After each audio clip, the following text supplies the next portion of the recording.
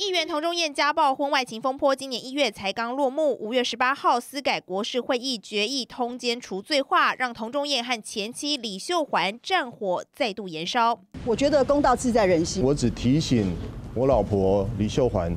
你这半年来，你真的交朋友要小心。李秀环表示，除罪化会影响婚姻。童仲彦得知后，第一时间剖文怒指前妻没资格说三道四，还要他多读书、多看新闻，别扭曲私改国事会议的用心。用了一小篇幅解释通奸除罪化的意义，并呛瞎我不怕，你怕什么？随后又继续骂前妻，最该感谢通奸除罪化的是你，废止此法的深层社会意涵，你懂吗？酸言酸语要前妻多吞几颗老王巧克力。保保你无罪。